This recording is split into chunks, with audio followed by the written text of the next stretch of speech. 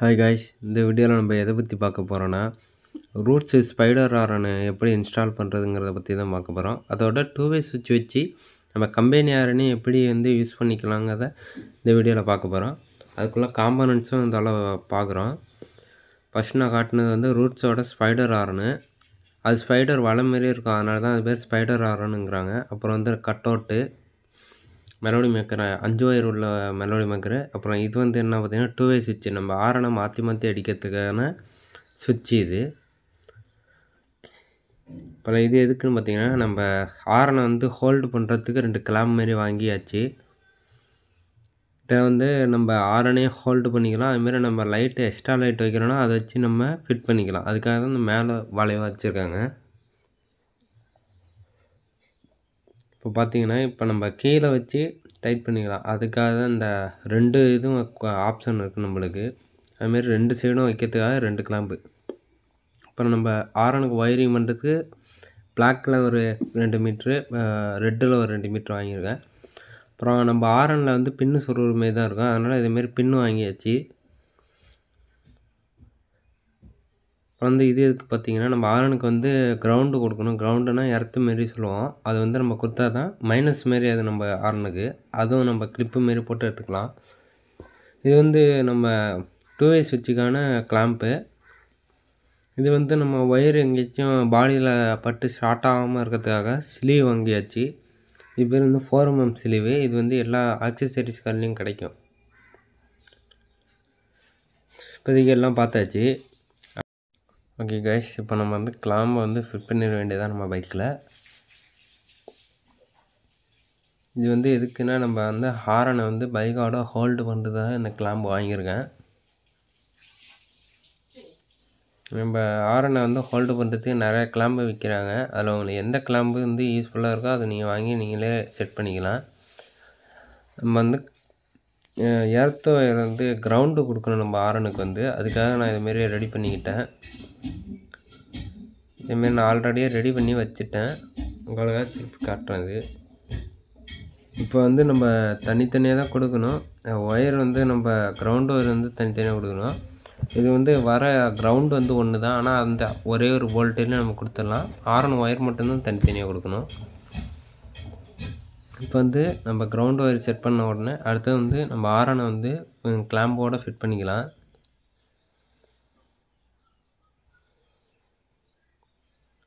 நம்ம ரெண்டு போல்ட்டையும் வந்து ஈவனாக டைட் பண்ணால் மட்டும்தான் பக்காவாக இருக்கும். இல்லைன்னா உங்களுக்கு வந்து ஷேக்கிங் இருக்கும். அப்புறம் ஆரன் எங்கேயாச்சும் கழட்டிக்கும். அதுக்காக தான்.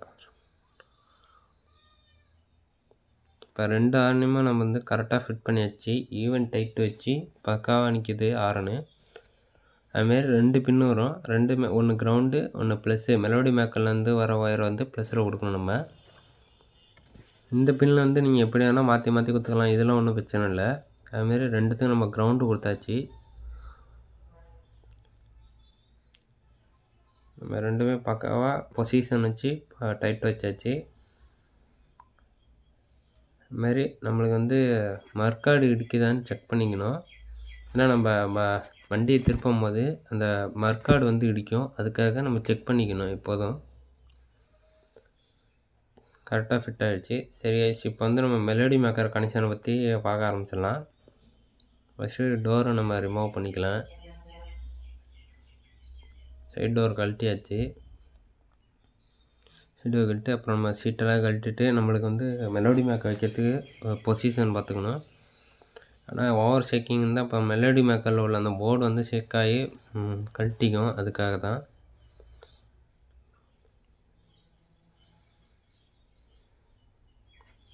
வந்து பொசிஷன் கரெக்டாக வச்சாச்சு நம்ம.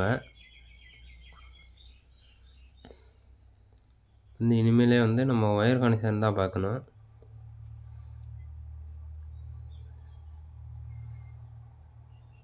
இந்த வீடியோ வந்து நீங்கள் ஃபுல்லாக பார்த்தா தான் உங்களுக்கு ஒயரிங் வந்து ஃபுல்லாக புரியும். நீங்கள் விட்டு விட்டு பார்த்தீங்கன்னா ஒன்றும் புரியாது அதுக்காக தான். ஒன்று ஒன்றும் ஒரு ஒரு கலர் வந்து ஒரு ஒரு ஒயர் போகும் கனெக்ஷனு முழுசாக பார்த்தீங்கன்னா மட்டும்தான் உங்களுக்கு புரியும். பாரு. இது வந்து நம்ம மியூசிக்கல் வந்து எந்தெந்த அரனு மாற்றி மாற்றி அடிக்கிறதுக்காக சுவிட்ச் வச்சுருக்காங்க. இப்போ வந்து நம்ம பிளாக் வந்து எதுக்குன்னு பார்த்தீங்கன்னா சுவிட்ச் கனெக்ஷனு ரெட்டு வந்து பேட்ரி கனெக்ஷனு ரோஸ் வந்து நம்மளுக்கு டைரக்ட் சப்ளை கனெக்ஷனு பாக்கி ரெண்டு ப்ளூவும் எல்லோவும் வந்து ஆர்என் கனெக்ஷனு இப்போ நம்மளுக்கு வந்து கனெக்ஷன் கொடுக்கும்போது தெளிவுபடுத்தலாம். இப்போ வந்து அப்படி புரியலனாலும் நீங்கள் வந்து இந்த பாக்ஸில் ஃபைவ் ஒயர் ஃபைவ் ஒயருக்குன்னு தனியாக ஒரு டைகர் ஃப்ராம் கொடுத்துருப்பாங்க. அந்த டயக்ராம் பார்த்து நீங்களே ரெடி பண்ணிக்கலாம். புரியாத பட்சத்தில் நீங்கள் இதை பார்த்துக்கலாம். அது அப்படியே புரியலன்னா நீங்கள் வீடியோ பார்த்து கூட பண்ணிக்கலாம். வந்து ஒரு ஒரு ஒயருக்கும் என்னென்ன கனெக்ஷனுங்கிறத பார்த்துடலாம். இப்போ வந்து நம்ம இந்த ஒயர் வந்து பேட்ரி கனெக்ஷன்லேருந்து எடுத்துருக்கோம். பேட்ரியிலேருந்து பாசிட்டிவ் கனெக்ஷன் இது. பேட்டரியில் ப்ளஸ்ஸு அந்த பாசிட்டிவ்லேருந்து ஒரு ஒயர் எடுத்து நெகட்டிவ் வந்து சும்மா தான் இருக்கும். நம்மளுக்கு பாசிட்டிவ் தான் தேவை.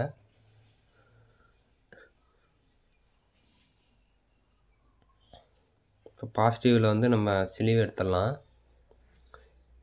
ரெண்டுமே ஸ்லீவ் எடுத்து ஒயரை ப்ராப்பராக ஜாயின் பண்ண ஆரம்பிச்சிடலாம். எப்போதுமே ஒயரிங் பண்ணும்போது வண்டியோட கீயை வந்து ஆஃப்லேயே வச்சுருங்க.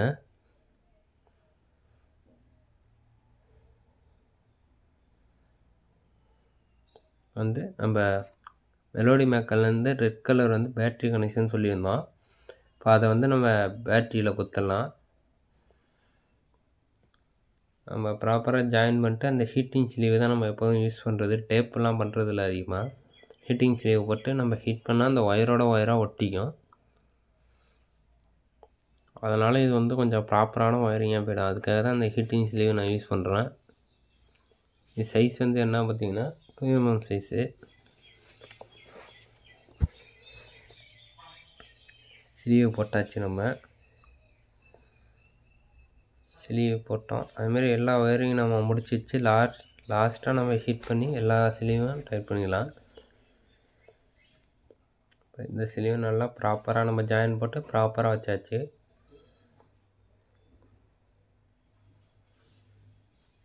ஓகே இப்போ வந்து நம்ம இந்த கனெக்ஷன் எதுக்குன்னு பார்த்தீங்கன்னா இந்த ப்ளூ ஒயர் வந்து நம்மளுக்கு ஆரனுக்கு போகிறது லெஃப்ட்டு ரைட்டுன்னு ரெண்டு ஆரன் வச்சுருக்கோம். அதில் லெஃப்ட் ஆரனு.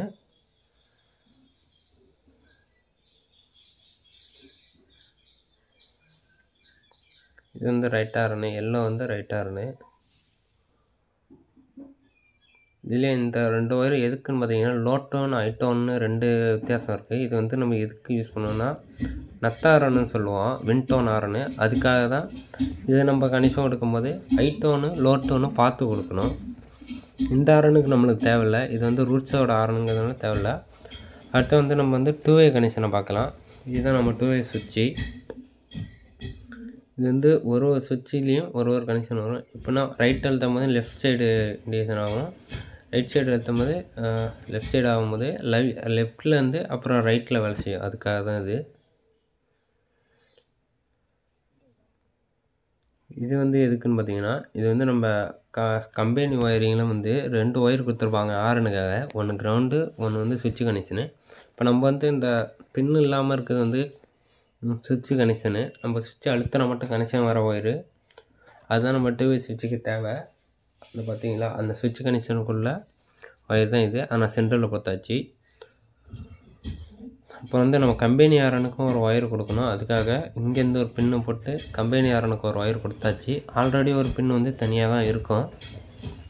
இது கம்பெனி ஆரனும் நம்ம சுவிட்ச் கனெக்ஷன்லேருந்து ஆப்ரேட் பண்ணுறதுக்கு இன்னொரு கனெக்ஷன் கொடுத்தாச்சு.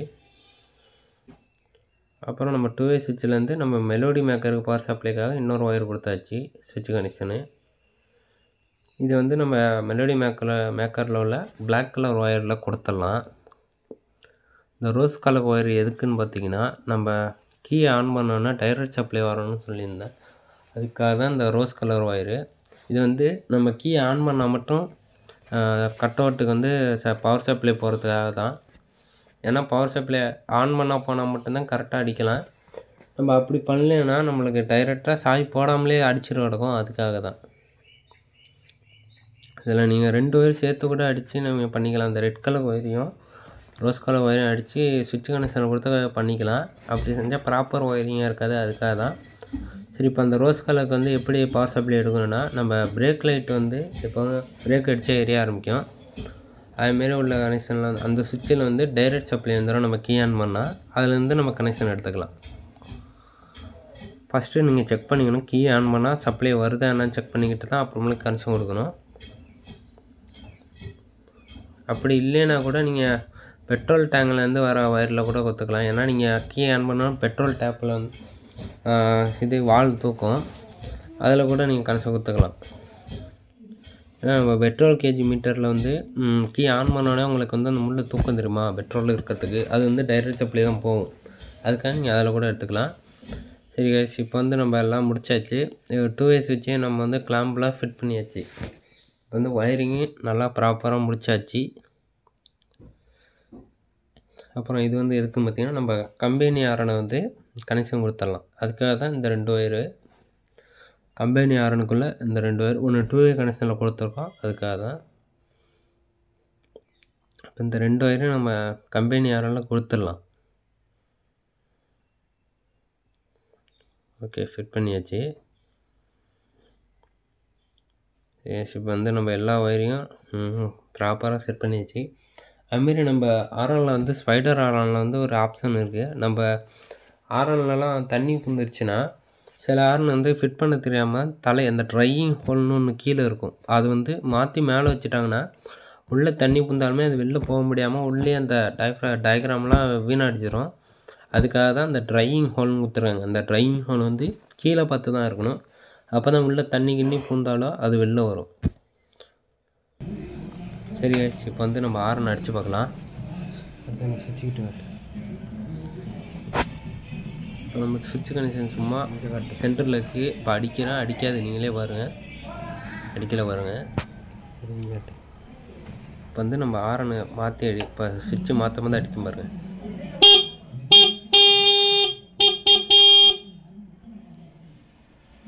இப்போ வந்து அடுத்த மாற்றுவோம் அடுத்த இதுக்கும் ஆரன் அடிக்கும் பாருங்கள் இது வந்து நம்ம மெலோடி மக்கள் அடிக்கும். வந்து நம்ம மெலோடி மேக்கரில் வந்து சுவிட்சு மாற்றி மாற்றி அடித்து பார்ப்போம். பாருங்க கைஸ் பக்காவாக இருக்குது கனெக்ஷன்லாம் ஒரு ஒரு சுவிட்சிங்க்கு ஒரு ஒரு ஆரன் மாறும். ஸ்லோ பண்ணுறோம் இது நார்மலாக அடிக்கும். அடுத்தது ஒரு ஒரு சுவிட்சிங்க்கும் ஒரு ஒரு ஆரனு